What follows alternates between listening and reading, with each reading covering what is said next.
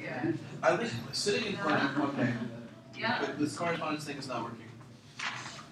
You enjoy it. What? Enjoy it.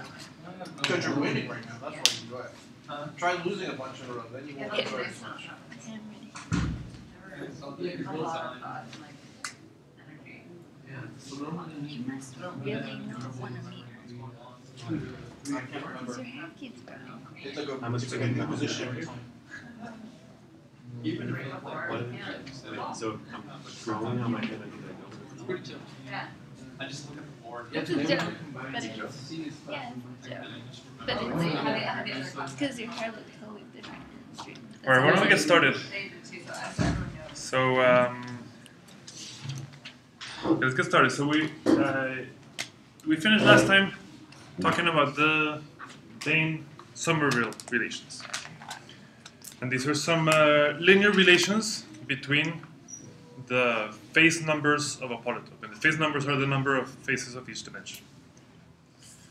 But this is for simplicial polytopes. So um, so let, let that let P be a simplicial polytope.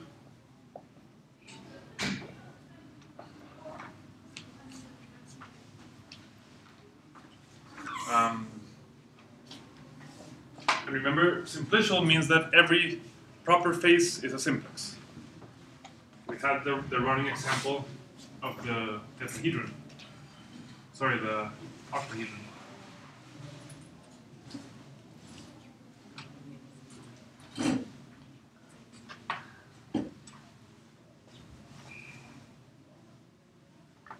So the octahedron is an example where you know, it itself is not a simplex, but all of its proper faces are simplices.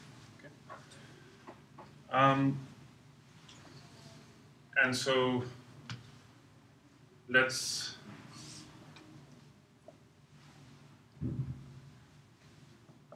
so fi is the number of uh, i-dimensional faces of P. So this was the F vector. So we talked about how in this case the F vector is uh, we have the empty set, then we have the six points, the 12 edges, and the eight triangles. And first, for a reason that you will see in a moment, we like to count the empty face here, and we don't like to count the full face here, the F vector.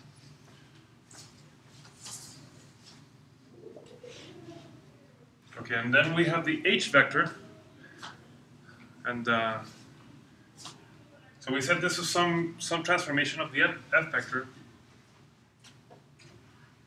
and it's given by the following relation that the sum from i equals zero to d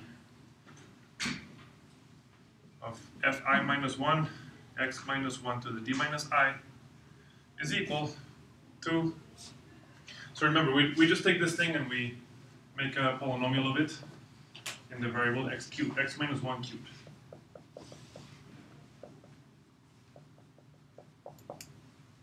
Okay? And then we take that, we just multiply it out and see what we get. In this case, we get x cubed plus 3x squared plus 3x plus 1, and we call these numbers the h numbers, the h vector.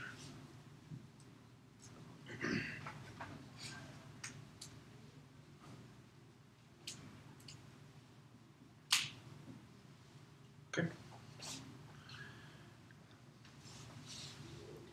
So this is uh, H0, H1, H2, H3. And so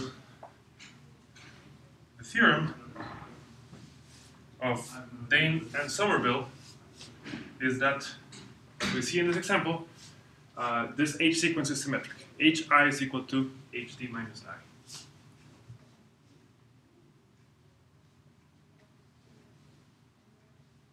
for all i. Okay.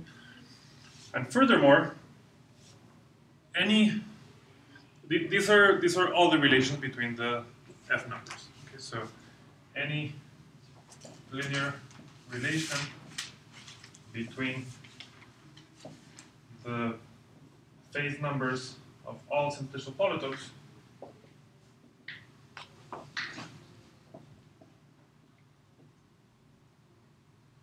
is a linear combination of these.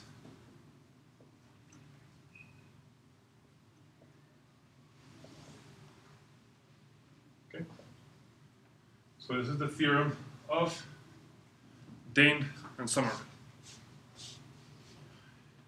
Um, before, so I want to start by proving at least that these relations do hold. Okay, but before I do that, I want to show you a very nice trick for computing the h vector without having to do all of this. Okay? So there's something called Stanley's trick for computing um, the h vector given the f vector. So what we do is that we make a little, kind of like a Pascal's triangle. Except on the right diagonal we put the f vector, on the left diagonal we put ones. Okay. So this is the f vector.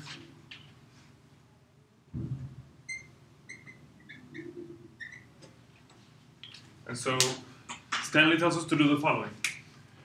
Uh, we're going to do like the Pascal's triangle, but with a minus sign. So each time we're going to take the number over here minus the number over here. Okay? So 6 minus 1 is 5. 12 minus 5 is 7.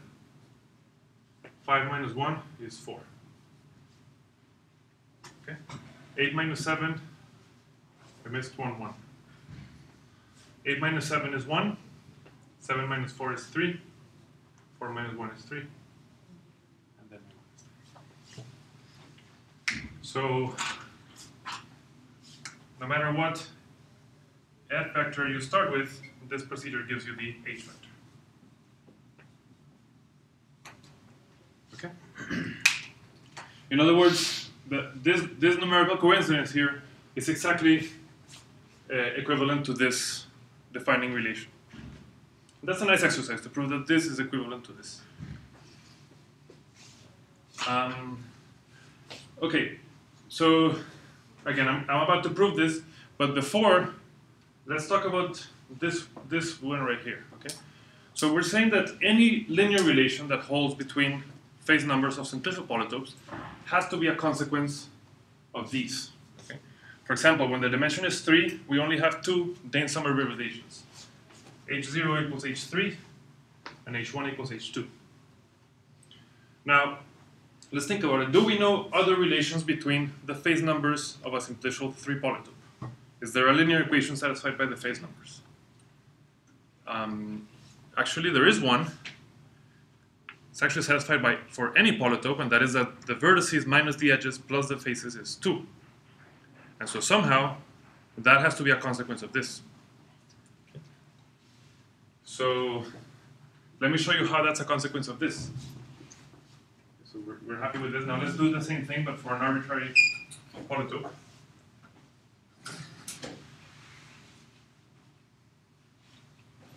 So in general, I have um, the vertices here, the edges here, and the faces here. So then I go b minus 1, then b minus 1 minus 1 is b minus 2. e minus b minus 1 is this. Okay. b minus 2 minus 1 is b minus 3. This minus this, I get e minus 2b plus 3. And this minus this, I get f minus e plus b minus 1. Let's minus this. So this is the h vector of an arbitrary polytope. And so we see that uh, Euler's relation that faces minus edges plus vertices is equal to 2 is exactly equivalent to the first Dehn-Sommerville relation. So the fact that h0 is equal to h, what is it, d minus 1? 0, 1, 2, 3 hd. This is Euler's relation.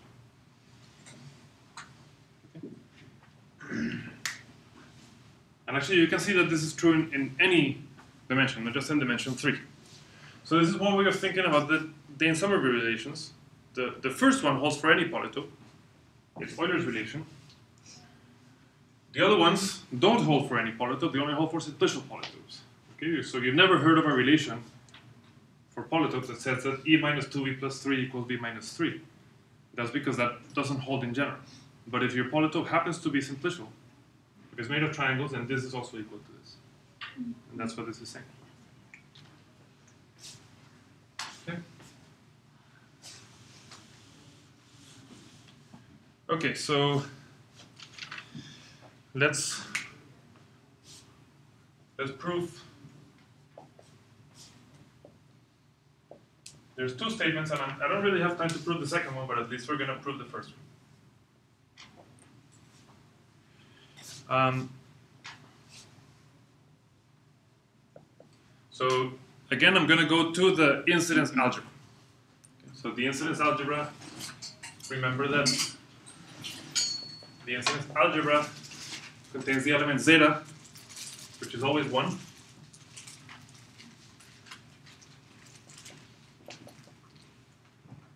And mu, which is the inverse of zeta in the incidence algebra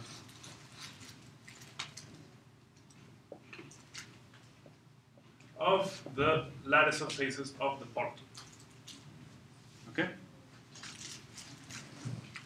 And let me also remind you what happens when you take uh, zeta to the n of going from the top element, so from the bottom to the top element. Okay, so remember that this is a convolution. And so when we do this, we're supposed to take the sum over all 0 less than or equal to t, let's see, how far do I go? t1 up to t n less than or equal to 1. okay, so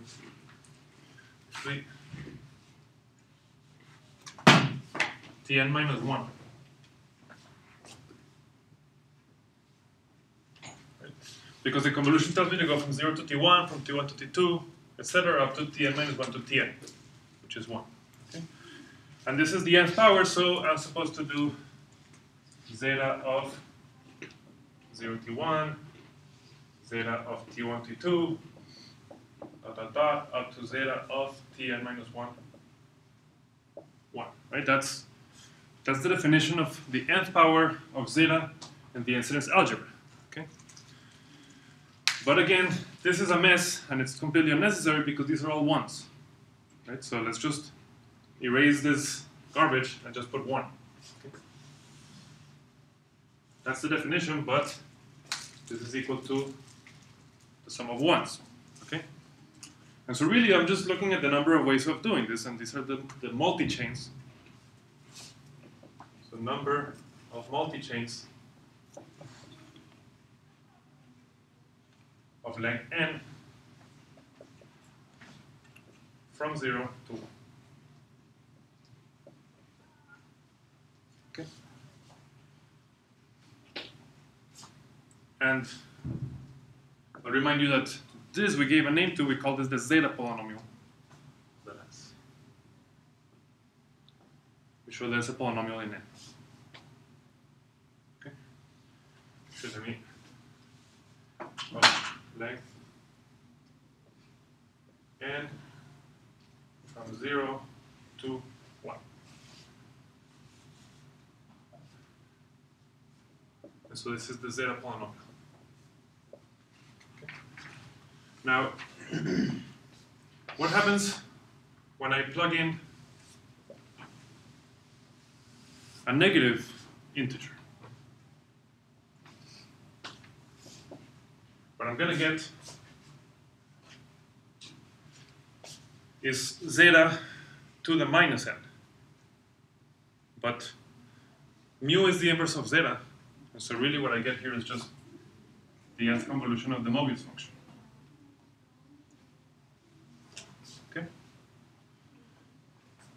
And so this is sum over the same set of a bunch of Mobius things. Mobius from 0 to t1, Mobius from t1 to t2, up to Mobius from tn minus 1 to 1.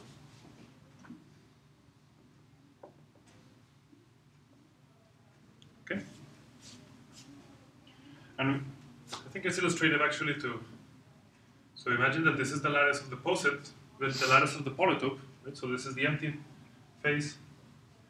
This is the top uh, face, the full dimensional face.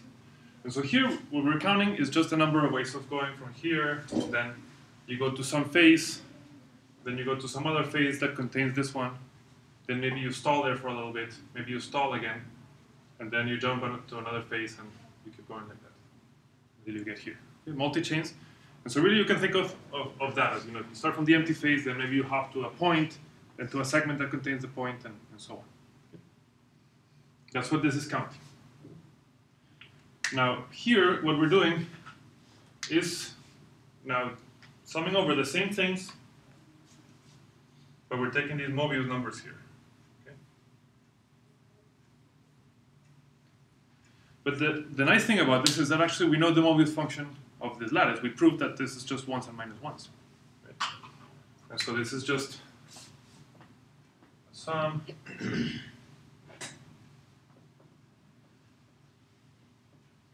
of a bunch of minus ones. How many minus ones?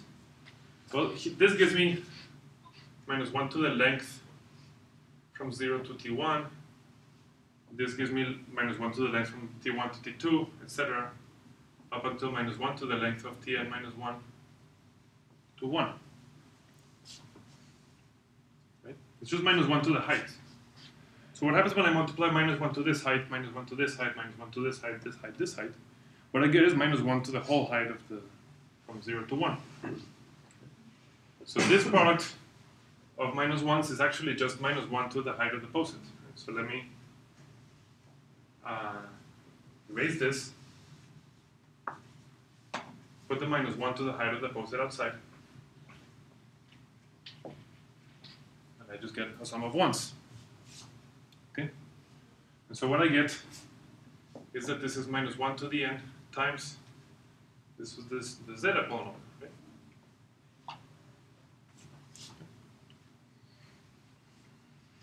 So it's a, it's a very strange uh, thing. The zeta polynomial of L at minus n equals a zeta polynomial of L at n, except for a sign. Some kind of combinatorial reciprocity. That's extremely simple. Yeah. So, what about uh, the height of the lattice for flat or lattice of faces for a polytope n or n plus one?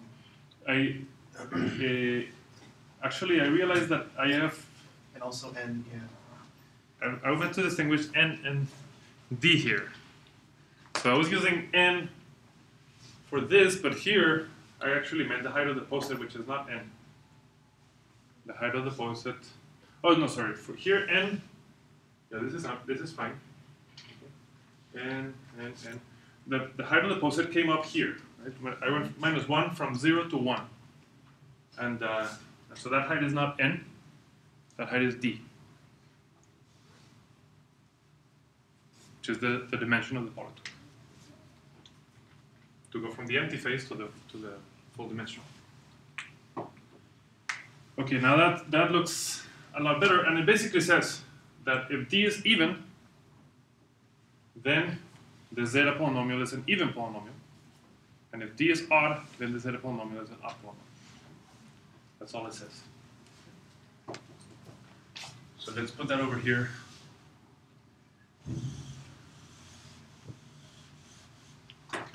Here's our first observation. Zeta polynomial has this kind of reciprocity property. Okay.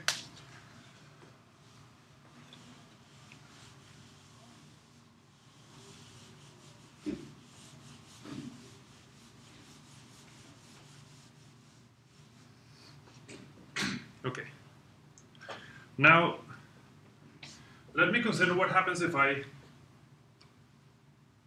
truncate, if I just remove the top element.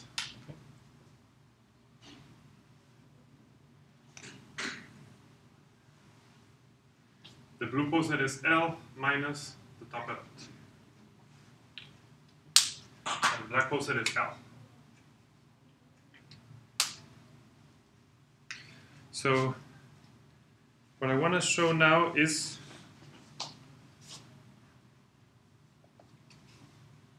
the following. How can I relate the zeta polynomial of L and the zeta polynomial of L minus the top element? They count kind of the same thing. We're counting multi-chains. The only difference is that in L you're allowed to use the top element, and in L minus 1 you're not. Okay?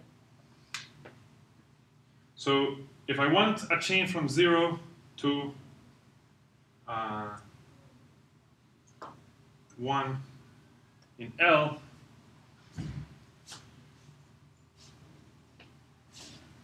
um, the, the point is basically this. What is, what is a chain from 0 to 1?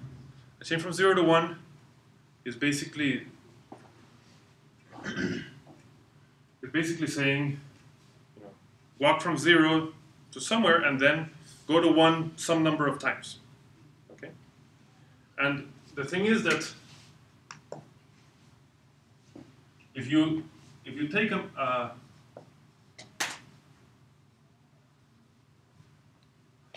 if you take a, a multi-chain in L minus 1 that takes n steps, you can always complete it to 1 of L by just then going to the top and just repeating the top element n minus n times. Repeat 1 n minus n times. Okay.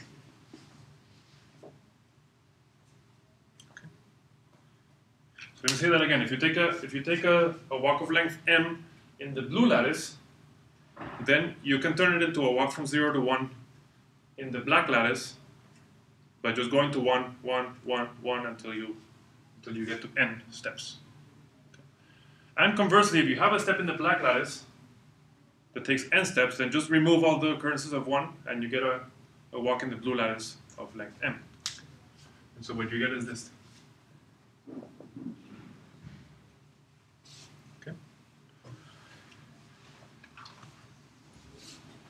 And so what this says, now let's do zeta of L minus 1. So this is the sum m equals 0, the same thing but with n minus 1. Okay? So now if I subtract zeta of Ln minus zeta of L comma n minus 1, this minus this is you know, this sum is the same as this one, except for it has one extra term.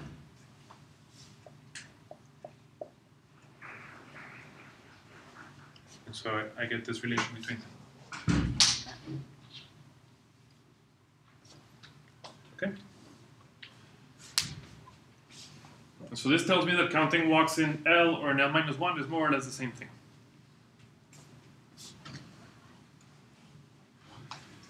Okay, now you might be wondering why.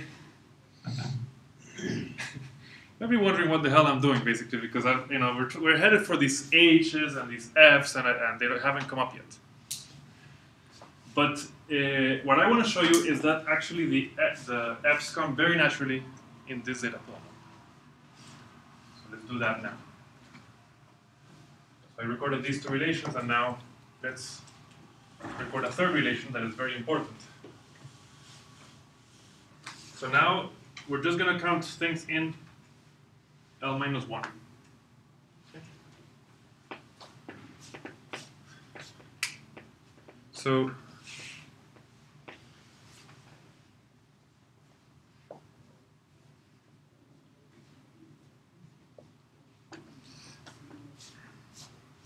So here's the thing. Um, let's say that we take a multi-chain of size n in L minus 1. Okay? And uh, I don't know, maybe.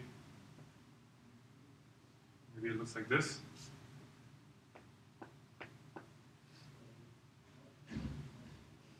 And so what we want to do is that we we want to figure out um, let's see what what exactly do I want to say here. Let, let's look at what the last the last face was here. Um,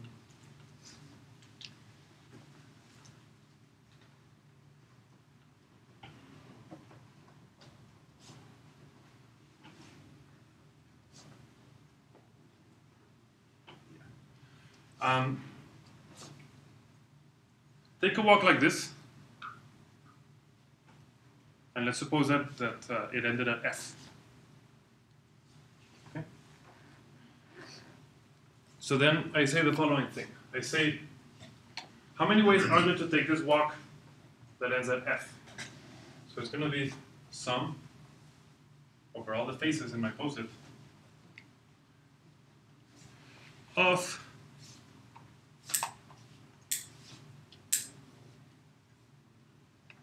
Now, taking a walk from if f is going to be the last element of my multi-chain, then the other ones have to be in the interval 0f, right?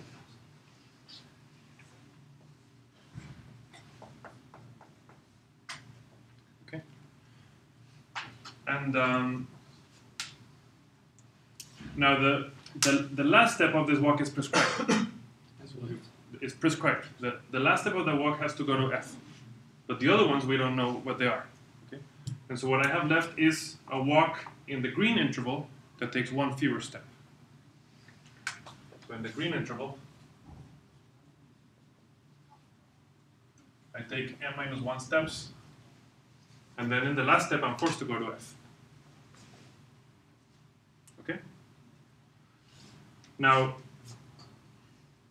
here is where we're finally going to use that our polytope is simplicial. We haven't used it yet.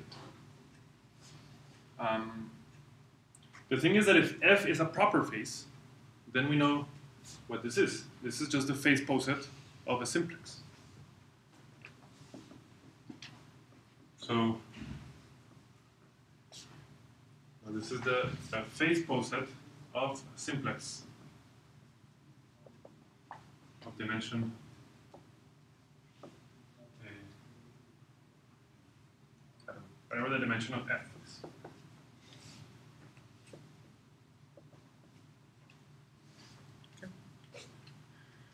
Now, what is what is the lattice of faces of a simplex?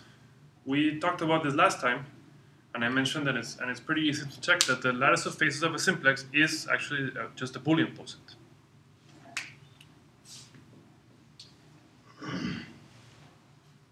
So this is just a Boolean poset of uh, size. I think it's actually the, the dimension.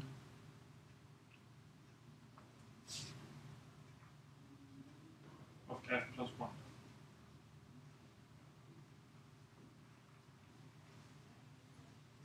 Yep.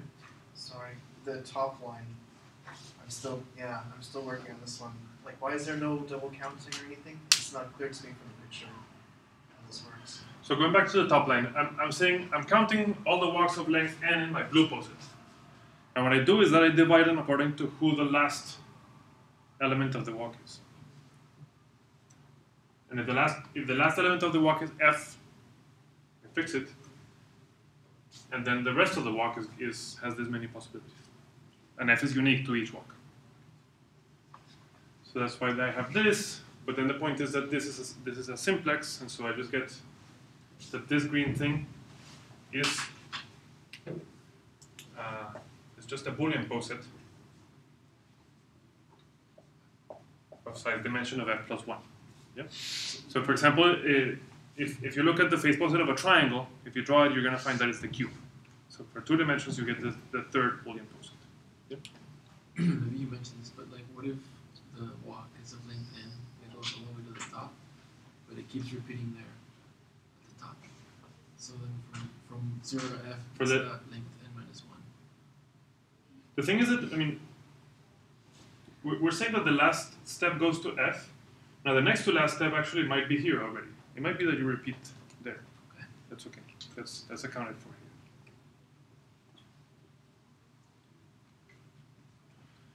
here. um, so so what do I have here? I have now the zeta polynomial of the Boolean poset. And that's actually the, just the, the easiest zeta polynomial. You have a cube, and you're trying to figure out how many ways are there to go from the bottom of the cube to the top of the cube in n minus 1 steps. That's a nice exercise. Actually, I, I forget if we did it in class or not, but it's a pretty simple exercise. I don't mean that it's immediate, but uh, it's not too hard to see that this is exactly the zeta polynomial of, of the dth Boolean poset is just n minus 1 to the zeta polynomial of the dth uh, Boolean lattice is just n to the d.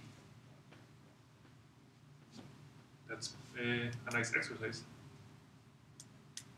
And so that gives me this. Okay. But you see what I get here now is that what is the coefficient of n minus 1 to the i? It's going to be the number of faces of dimension minus 1.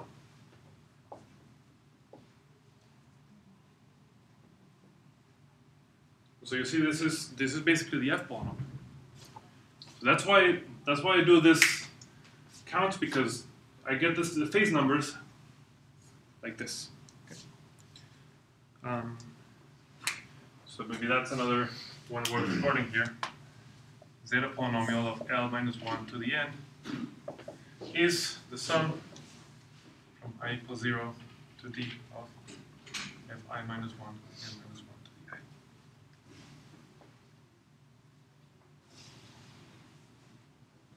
Okay. And uh, I claim that this is basically it.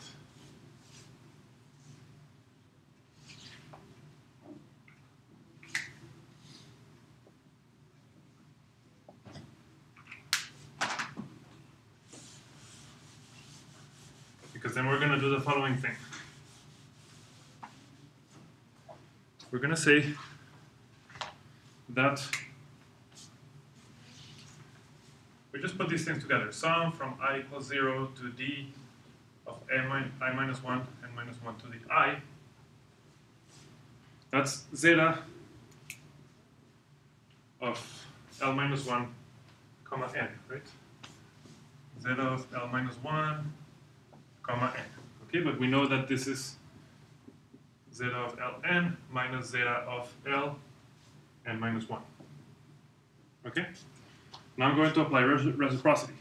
So I get minus 1 to the d times zeta of l minus n minus zeta of l minus n plus 1. Right?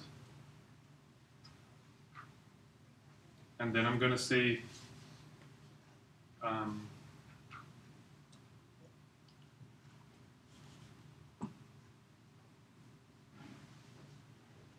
what am I going to say? I'm going to now uh, let me let me add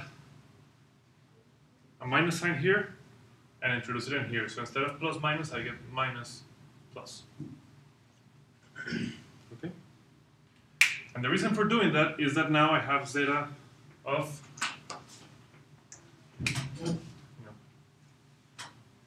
something plus one minus zeta of something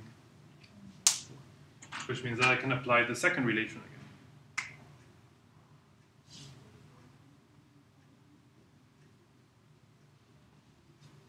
I apply the second relation where now, instead of n, I have minus n plus 1.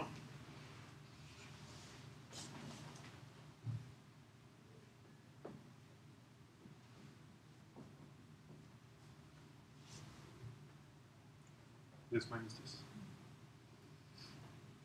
And then, now I apply the last relation again.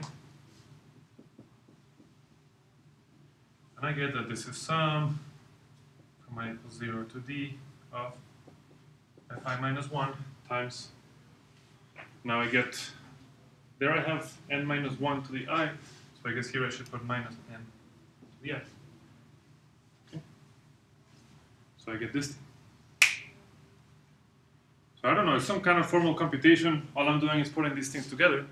But what you should realize is that I took some something, I took a polynomial in the f's, and I proved that it was equal to another polynomial in the f's.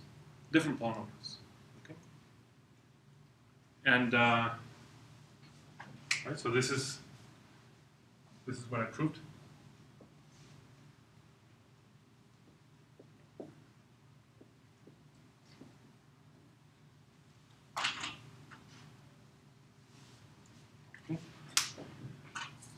And then it's just a, a, a kind of tedious but simple computation to show that this is actually the same as what we want. Each i is equal to each t minus i. So I mean, you look at this and you and you agree that this gives relations between the FIs. Okay? But then I'm, I'm asking for your trust at the moment that these relations are equivalent to the Dehn-Sommerville relations, but you just have to trust me until after class. So after class, you should look at the notes and you see it's it's like a three-line computation. It's kind of boring, but it's it's there, and it shows that this is equivalent to the Dehn-Sommerville relations. Okay. And so this proves this proves this part. Okay. Are there any questions about about what we did so far? Does that come up often where you have two expressions, you have two different like bases basically, right? And that gives you a relation on the coefficients in terms of these different bases. Does that come up often or no? I see. So you're, so you're thinking of two different bases for the polynomial ring. One is x minus 1 to the i, the other one is minus x to the i. And we're showing that the same, we're showing that there's an element whose expression in this basis and in this basis is basically the same. Um, no, I would say it's pretty rare because it's rare to have such theorems as beautiful as this one. Um, Actually, I, I forgot that I, I wanted to show you something else about why this theorem is um, so surprising. So let's do this again.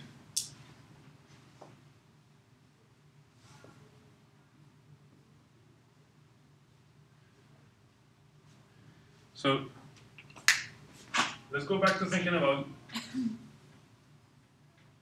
here's the f vector, and then the h vector is going to land here.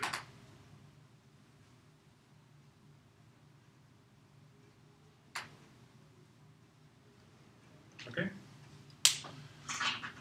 So let me let me make it very explicit why what the Dehn-Sommerville relations say here and why this is so remarkable and rare. Let's say that now you look at this polytope, you see a simplicial, right? All the faces are triangles, and it's not too hard to count the points. Six points. Okay? So I claim that this number six determines the whole F vector. In other words, if you have a, sim a simplicial polytope, and it has a simplicial three polytope, and it has six vertices, then you know the F vector. And not only for six, for any number of vertices. If you know the number of vertices of a simplicial polytope, you know everything else. Why is that? Because you say, okay, well, if this is 6, then 6 minus 1 is 5, 5 minus 1 is 4, 4 minus 1 is 3. Okay, so this entry of the h vector is 3, but the h vector is symmetric, right? Which means that you can kind of backtrack this now and say, okay, well, uh, this is 1 and 3. That means that I should have a 3 and a 1 here. Right, so I need something here so that this minus this is 3. I need something here so that this minus this is 7. And I need something here so that this minus this is 1. So the whole F vector is determined by a single number, the number of vertices. I think that's pretty amazing. Uh, and in general, if you're in, in d dimensions, then this guy has length d or d plus 1 or something like that. But the point is that, that if you know only the first half, then you can take it over here and then take it back and figure out what the second half is. So the f vector is determined by only half of its entries, which is very rare. Okay, so that's the Dehn Sommerville. Those are the Dehn Sommerville relations. Um, now, let me say a couple more things about it. So, this theorem tells you what are. Okay, so this this theorem characterizes all the linear equalities among f vectors of simplicial polytopes.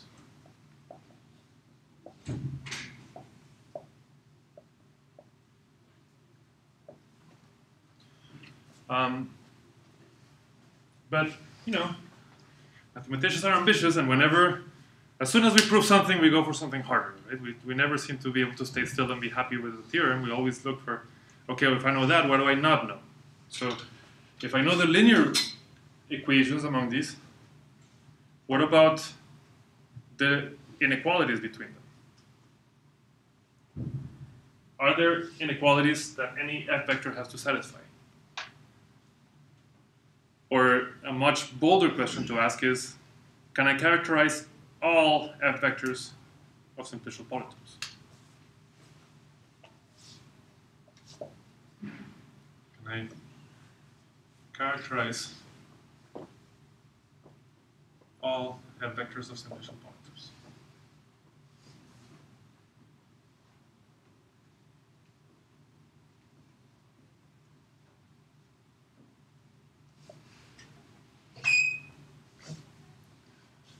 In other words, if I give you a, a, list of numbers, does there exist a polynomial that has that many vertices, that many edges, that many so?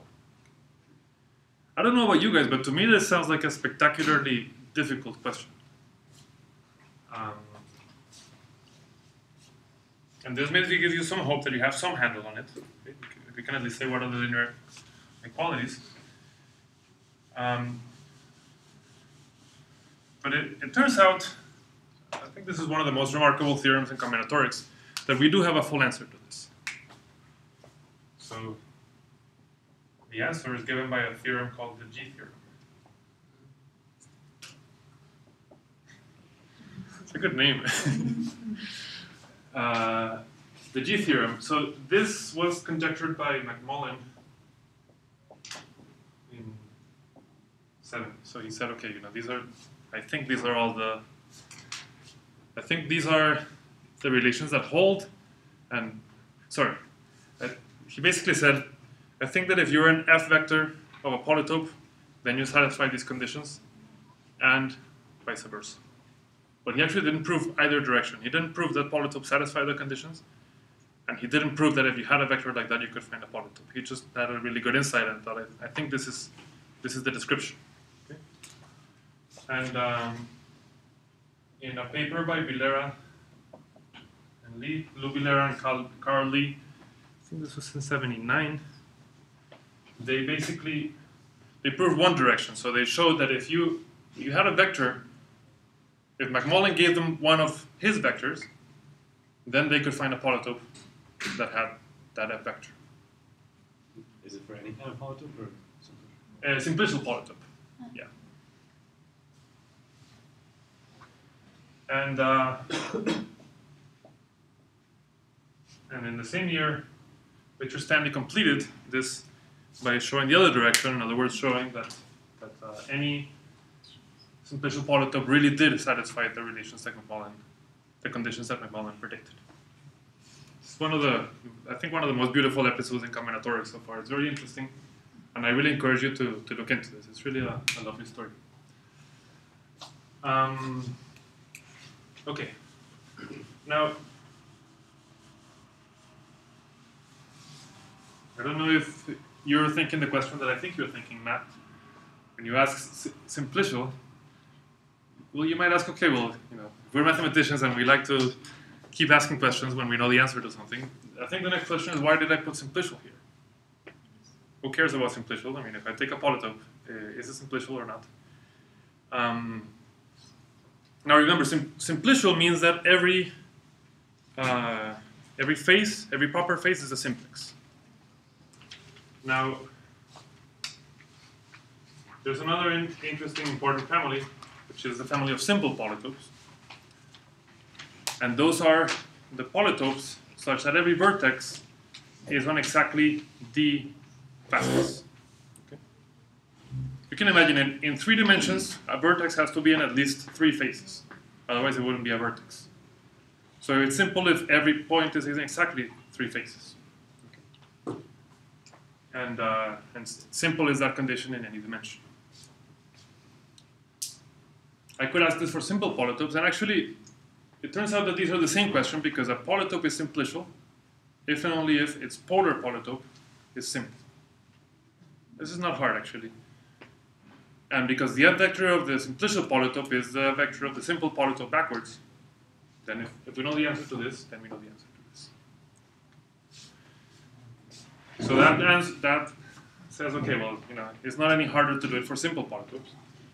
But the question is, what about all polytopes?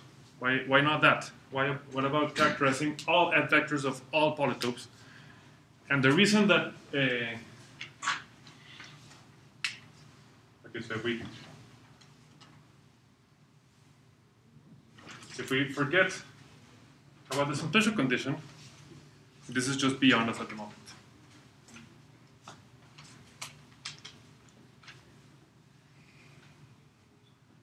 This is really wide open. In dimension 3, it's known. In dimension 3, we have a full characterization of the f vectors of three polytopes. And there's been a lot of effort even to do it in dimension 4. And uh, Günter Ziegler is, is one of the leaders in that project of um, figuring out the f vectors of all four-dimensional polytopes. And, and this project is, you know, it has had a lot of success. It has a lot of nice results. But it has come to highlight just how hard this question is. Really a, a very hard question. So, and so it's kind of the, the, the opposite thing. The opposite thing that in mathematics, whenever we have a problem that is just far too hard, then we just focus on something that is a little bit easier but still interesting. So that's why people focus on this. Um, now this is this is not such an arbitrary condition because if you just dro- drop some points at random um, in, in uh, Rn, you're going to get a simple polytope actually, because you, you know it takes coincidences to to not be simple. Okay? And somehow the the set of non-simple polytopes has measure zero among all polytopes in whatever reasonable measure you you choose. So this really includes most polytopes, but but still it's interesting to do it for all polytopes. Okay. Do we have the dual event? Like you drop random hyperplanes, then it gives you simplicial? Yeah, if you, yeah. So I should say, if you drop random, if you drop a set of random points, then you're gonna get something that is simple and simplicial. Because, I mean, it, it takes a coincidence to be coplanar, right? If, if, for example, the the square pyramid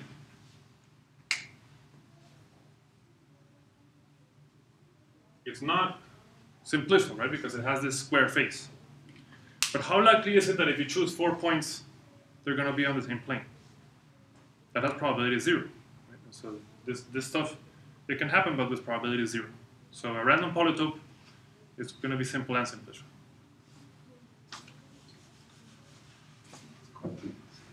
Okay. Um, well, so maybe this is too hard.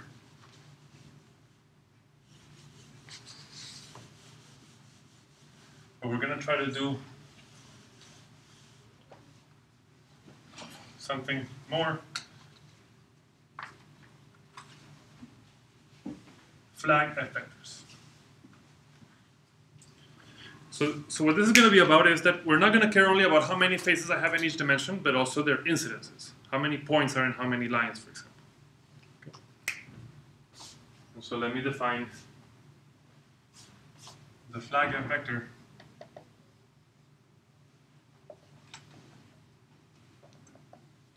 p is the following thing.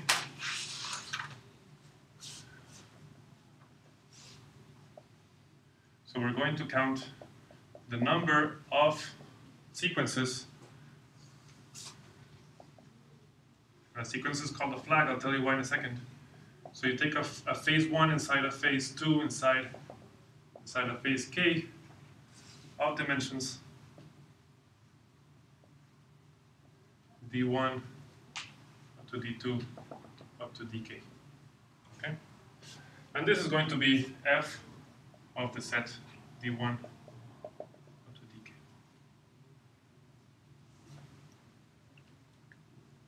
So you're going to say how many points are there are there in a line, how many points are there in a triangle, how many lines are there, so on. So why don't we do it for this guy?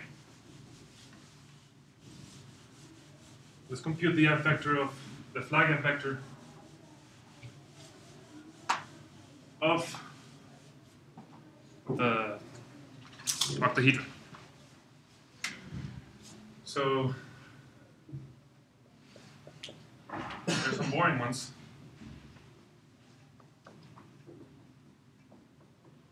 If you only have one thing in your set, then just get 6, 12, and this means I have six faces of dimension. Actually, I have six faces of dimension 0. I have 12 faces of dimension 1, and I have 8 faces of dimension 2. Empty chains, we just say that's 1 by convention. Now, for example, what is f of 0, 1? So f of 0, 1 is the, is the sequences of a point inside a line. So how many ways are there of doing that? Well, the point has six possibilities, and each point is on four segments.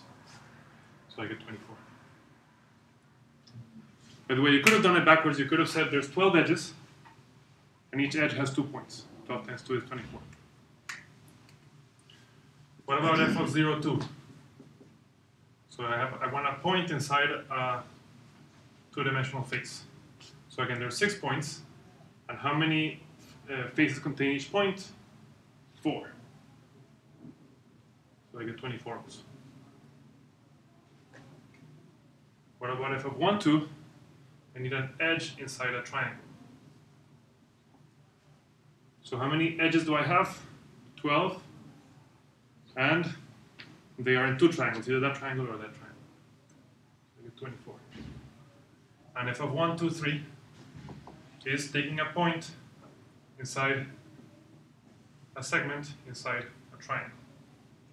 So the point I have six choices. For the edge I have four choices. And once I choose my point on my edge, I choose either the triangle here or the triangle there. And you're not going to believe this, but this is why these are called flags. Because they, they look like flags. It's kind of cheesy, but anyway. And so, what can I say about the flag f vectors of all polytopes? Now, you might say, well, that's a lot more ambitious than before, actually. We can't even know what the f vector is. Why do we go for this much harder problem of, of classifying the whole thing? Yeah? Is the last one F012? Oh, yeah. Thank you. f of 0, 1, 2. Okay. Um, so,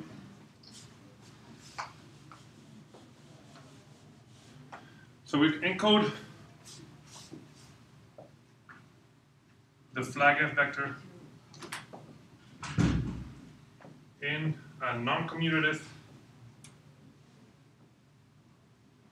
or I should say a polynomial. Federico? Yeah? What exactly is the F vector? Is it the number?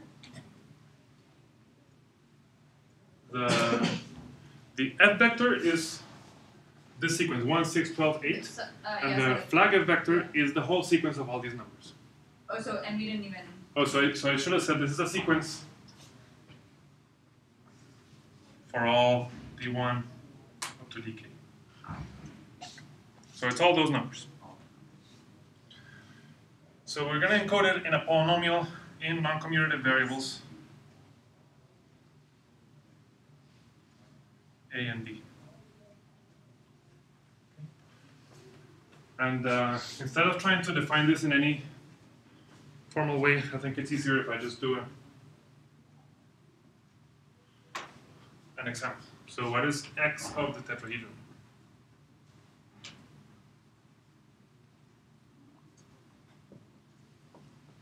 What I do is that I just use these as coefficients and then the letters as, as indicators. For example, I say, okay, 1, A, A, A, plus 6, B, A, A. So B means you're in the set, A means you're not in the set. So 12 and then ABA, because 1 is in the set and 0 and 2 are not. 8, AAB. 24, this is BBA. 24, BAB. 24, ABB. And 48, BBB. Is it clear what I did there? So, okay, you know, it's, it's an equivalent thing. Who knows why I'm doing this, but but uh, clearly this information is the same as this information. It's very important that A and B don't commute. Okay. Um, now the the reason that I do this is that just like the f vector of simplicial polytopes, the, there's there's relations in there and they're kind of hidden, and it's clearer to see them in the in the h vector. Here, there's also a lot of relations that are hidden, and uh, it's going to turn out that these relations come out when I do the following change of variables. So I'm going to define a new polynomial psi, and it's going to be equal to this evaluated at a minus b comma. Okay. So you're supposed to plug in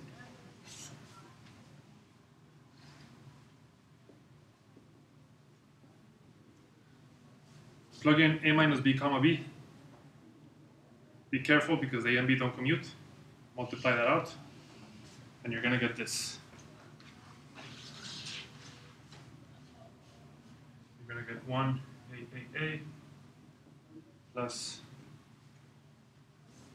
five b a a plus eleven a b a seven a a b plus 7 BBA plus 11 BAB plus 5 ABB plus 1 B. Okay. I, I did it I, I got this. You're not supposed to kind of see it right away.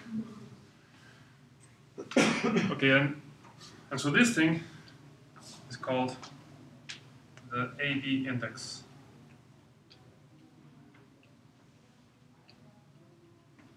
Of point. Okay? And in analogy, the coefficients are going to be called the flag H vector.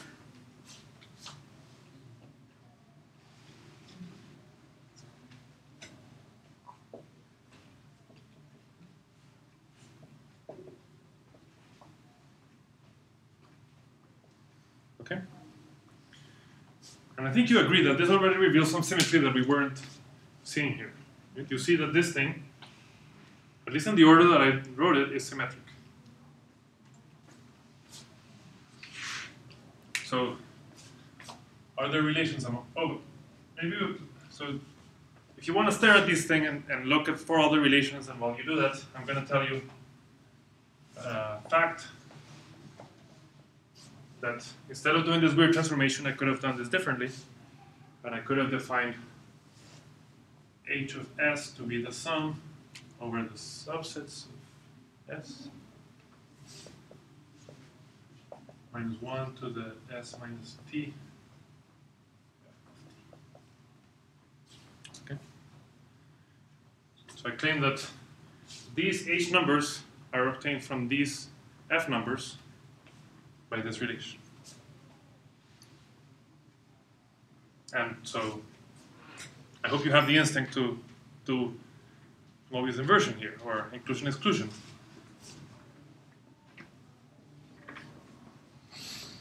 This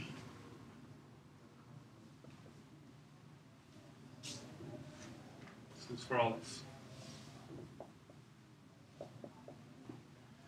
So I don't know, for example, this 12, or maybe this 24.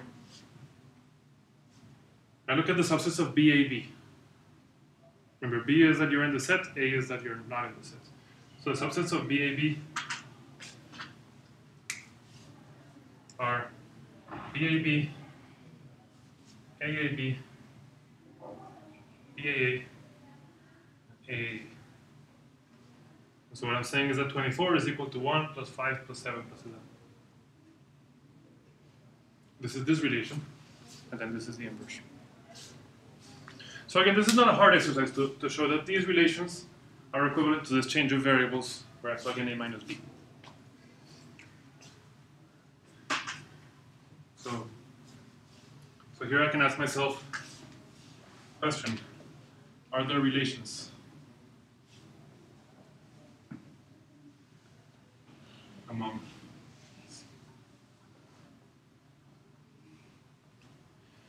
and there's probably one relation that Actually, there's probably four relations that you can guess already. Right? The 1 is the 1, the 5 is the 5, the 7 is the 7, the 11 is the 11. So how can we say that?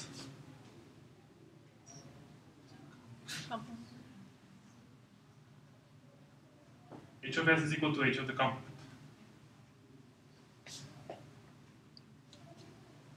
So for example, we have this relation.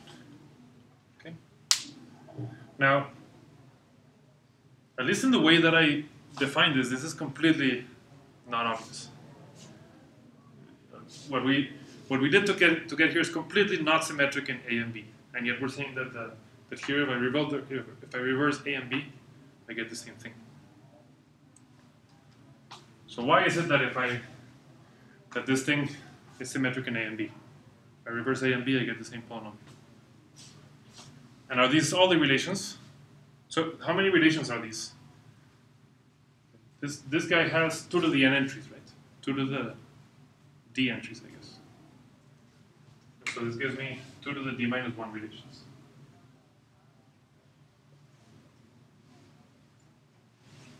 Among two to the d things. So it's like before, right? Where to know the full flag f vector, you just need to know half of it. So is that it, or can we hope for more? Mm.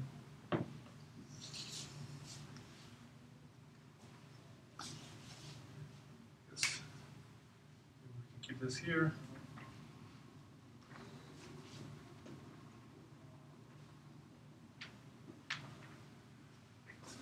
Um, okay, so let's, let's just here. This is a, a theorem due to March Bayer and Lou Billera.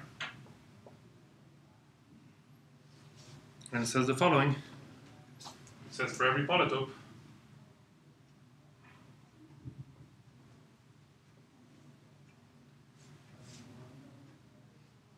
there exists a polynomial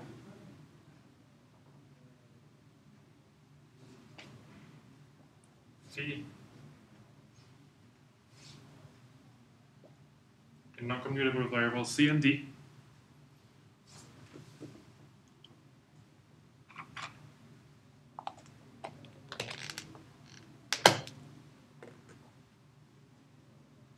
Such that the CD, sorry, the AB index for my polytope is equal to the CD index. So this guy's called the CD index, evaluated at A plus B, comma, AB plus B.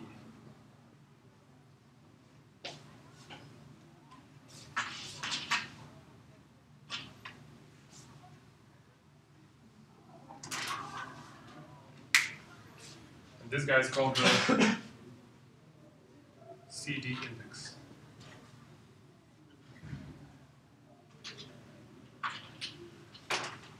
Okay? So let's try to understand what that means in this example. So this is my, my AB index. I don't need this anymore.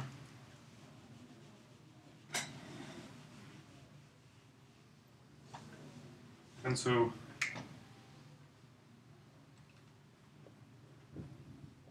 what this is saying is that I should be able to find a polynomial in these things, which is equal to this. Okay? Now, what kinds of terms can you have in a polynomial with these guys of degree 3? Well, for example, you could have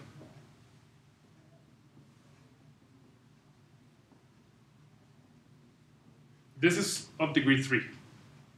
The result should be of degree 3, and so I need expressions like this of degree 3. This is of degree 3.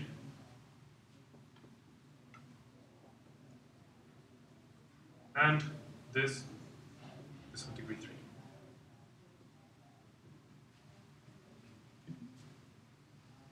But if you notice, there's nothing else of degree 3. Right? These are all the possibilities. And so there must be coefficients that I can put here so that this is equal to this. Okay? So can we figure out what they are? For example, how can I get an AAA?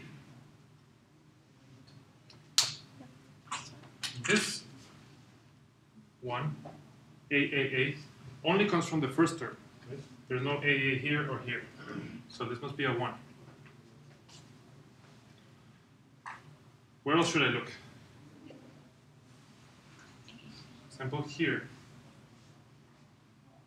How can I get an AAB? An AAB comes from AAB. It comes from AAB, and it cannot come from here. Right? There's no way of making an AAB with this guy. So if I want seven and I already have one, I need six. Okay. And then what about this? We should go to. What's a good one to go to? The- which one? ABA. ABB. There's there's several possibilities, but BAA. Somebody said BAA, and that's a good possibility. Because how can I get a BAA? BAA, that's one. Here I cannot get a BAA, and here BAA. So if I want to get five, then this must be a four. Okay.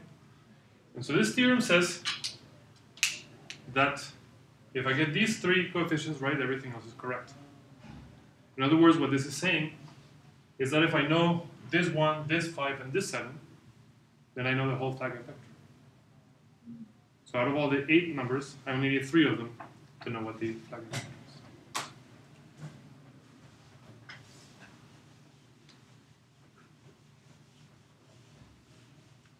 So corollary to know the 2 to the n entries in the flag vector, I only need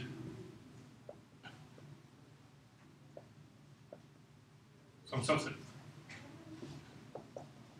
Okay. Now we don't we don't know what what it is in general, but we know that if this is eight, then this is three. And actually, of these three, one is trivial because this is always one.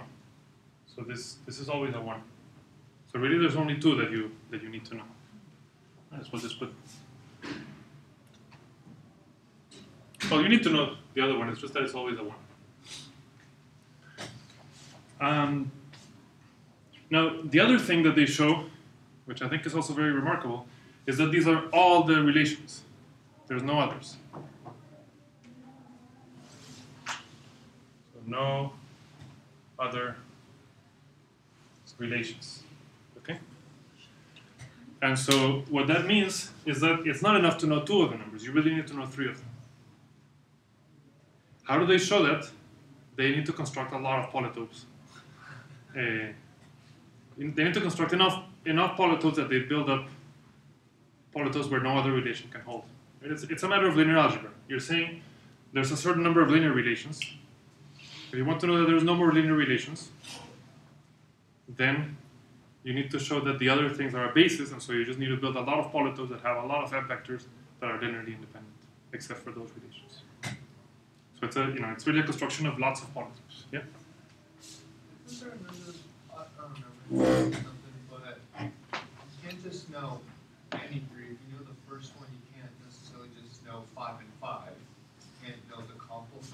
That's right. So, and, actually, that's a good question that I don't know the answer to. Which three can you choose here? You shouldn't choose one, five, and five because these, these two are always equal to each other. So that's you know you shouldn't do that. But I think as long as you choose three that are not equal to each other, at least in this example, it works out. But it's a good question. If I give you for for some value of n, which subsets determine the rest? I like that question, and I, I don't know the answer. Um, now, here's a question. What if, okay, so for 8, I need to know three of them. What about for 2 to the n? Where is this 3 coming from? This 3 is coming from the fact that I have these, these three things. These are the three monomials of degree 3 in a plus b and ad plus ba. And these three correspond to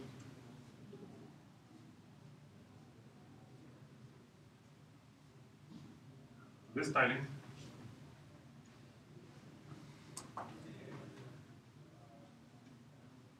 this tiling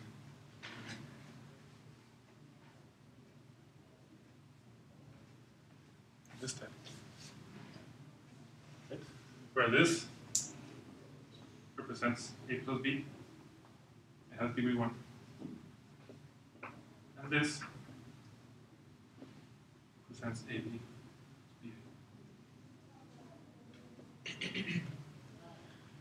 So, if you're trying to get something, if you're trying to get a monomial in these things, and that monomial has degree n, what you're doing is laying down tiles.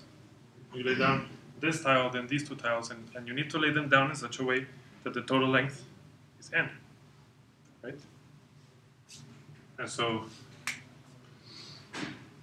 in the situation that I have of degree n, if I want to know the 2 to the n entries, how many are enough to determine the rest? Well, however many tilings are there of a 2 by n rectangle in, uh, two dominoes. Right? You can you can use idea to figure out which three. Column one A, column.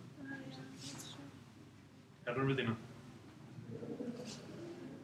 But this kind of wraps us up to the beginning of the class. So this is this is the first thing that we did in this class, and we saw that the number of these tilings is exactly the Fibonacci number. Okay, and so this is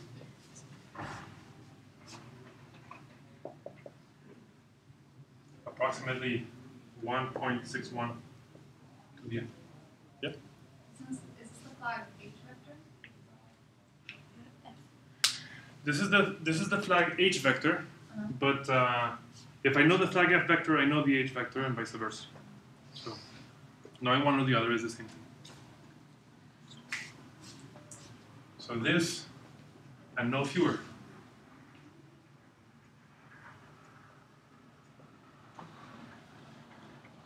Um, and you see so how, how different is it from the other situation? For the for the other situation, if you wanted to know the, the vector of length n, we needed to know half of the vector. So what fraction of 2 to the n is 1.61 to the n? It's actually negligible. Because the limit of this divided by this is 0. pick n equals 10. Let's say you're in 10 dimensions. 2 to the 10 is about 1,000. 1.6 to the 10, I guarantee you, is less than 100. If you pick n to be 20, this is going to be about a million, and this is probably about, I don't know, 1,000, 2,000. So really, as, as n gets bigger and bigger, you, you need to know fewer and fewer entries of the flag f vector to, to determine the whole f vector. So there's all this amazing structure hidden just inside the incidences of a, of a polytope. Is there, is there really like, I don't know, go, since you know these relations, like, is there a way to go back and sneak in the relations to find for f, the f vector? Since, Um, yeah, so actually, Bayer and Billera discovered this not quite in this form. I mean, this gives you some complicated relations between the f numbers, and you know, they give you some big complicated expressions. And uh, I'm blanking at the moment on who it was that noticed that the relations that Bayer and Billera discovered actually can be put in this form. So this can be written in terms of the f vector, but somehow you somehow the point is you don't want to. It's too ugly. And and this first of all it's a lot cleaner, and second of all, it, if you're gonna look for a natural explanation, then it's it's uh, it's just much better to use a language where the thing looks cleaner. That's a better place to look for a good explanation. it was just because earlier you, you said you wanted to find characteristics for the f vectors and all. So to go back to this question, what is the answer to this question? it's like hell no. I mean, if we can't even characterize the, the f vectors, how do we expect to characterize the flag f vectors? We can't even figure out what these four numbers are or what these n numbers are. How do you how do we expect to know the two to the n? No, it's it's it's, it's hopeless at the moment. Uh, but at least by expanding the problem, we discovered all this new structure that, that was invisible in the single flag f vector. But in, in the single f vector, it was invisible. Here it's visible. But I think it points to how this is just a you know, a massive and massively open area of questions that are extremely interesting. So, so yeah. Now that we're back at, at these little pictures, then I think we can stop. So thank you guys. It's been it's been a lot of fun teaching you guys, and I hope that you get excited. This is really just the the beginning, as you see. We just we just got to scratch the surface on on some of the nice things in enumerative combinatorics and its applications, and I hope that you'll that you'll keep digging deeper. Okay? So thank you guys.